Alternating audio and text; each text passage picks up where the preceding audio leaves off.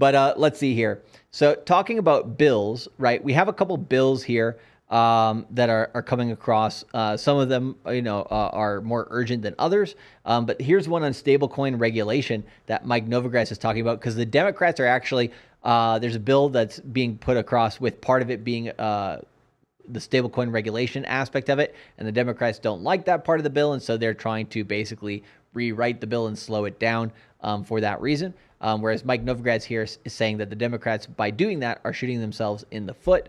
Um, the billionaire investor said Democrats are shooting themselves in the foot uh, for blocking that part of the stablecoin uh, regulation. Um, so let's let's read this one here for you guys. There are there has been a growing concern about how regula- regulation bordering on stablecoins will eventually shape out in the United States, with an initial hiccup experienced when the anticipation bill designed for the unique tokens was presented in the House. As reported earlier by CoinGape, Republican Congressman Patrick McHenry said their Democratic counterparts could not come to a compromise with respect to the bill, creating a stalemate. Right? They came back to Congress in July, hoping to get some regulatory clarity with crypto. They've been trying to do that from the Republican side, but the Democrats are not having it apparently, right? So Mike Novogratz shares his take here. He says um, he's the CEO of Galaxy Digital and a billionaire investor. He says the Democrats uh, might be shooting themselves in the foot for their attempts to block the stablecoin bill. McHenry posited uh, earlier that Americans deserve clarity for payment stablecoins and there has been a good faith bipartisan work to deliver that clarity, but the Democrats are blocking efforts made thus far. Noting importantly that the back block stage is being done at the behest of the White House. Mike Novogratz said crypto regulation, including those involving stablecoins, should not have been treated as a partisan issue. Right? It is money. It is for both sides uh, there. Right?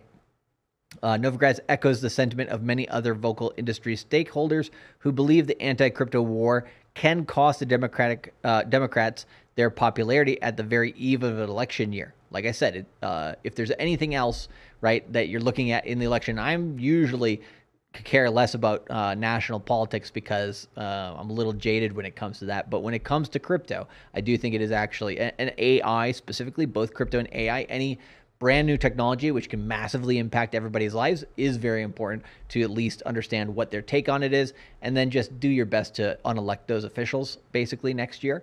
Uh, stating it categorically novogratz and democrats said democrats will lose voters as a great deal of americans believe in progress. A sentiment he shared considering the fact that the majority of investors in the nascent industry are millennials and gen z's.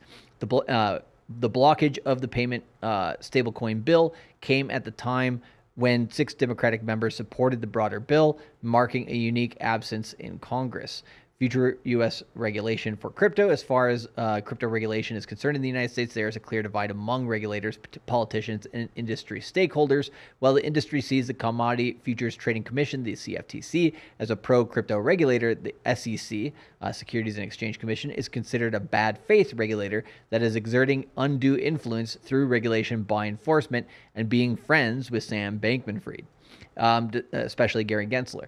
Despite the differences, the general consensus is that the crypto space needs regulators, and while American watchdogs may not want to tra- uh, trial their or yeah uh, trail sorry their counterparts in Europe who have floated MiCA the need to prevent FTX like implosion in the near term is considered a motivation that can help bring the desired change, right? So if you don't want to have criminals like Sam Bankman Fried going around, um, you know, it's probably good to get some regular regulatory clarity when it comes to crypto. So it is a not a wild west and everybody's, you know, doing all this stuff. Now, uh, there is some suspicion on my end as to why, right? They're trying to push these bills through Congress very, very fast right? Of course, part of that is there is only you know uh, a few months before everybody's really focused on on uh, re-election campaigns, so I get that part of it.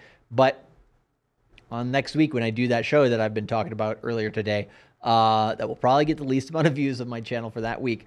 That one is going to be, in my opinion, really, really important um, for kind of how this is all shaking out.